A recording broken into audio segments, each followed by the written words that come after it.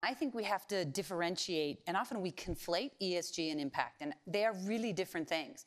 ESG, in my view, is table stakes. If you take our environmental and social standards and convert them, we could create today a set of KPIs and we could measure every single infrastructure investment. We know that.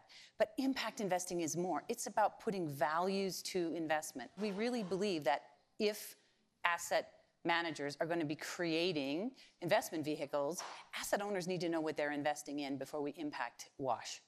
And so, what we've really said is let's go further. Let's create nine principles that we can all agree to. And we have probably 100 um, different asset owners and allocators who are willing to come to our spring meetings and sign up to the principles. But the principles are life cycle. They're not just, I'm going to invest. They really say you have the intent to do the right thing.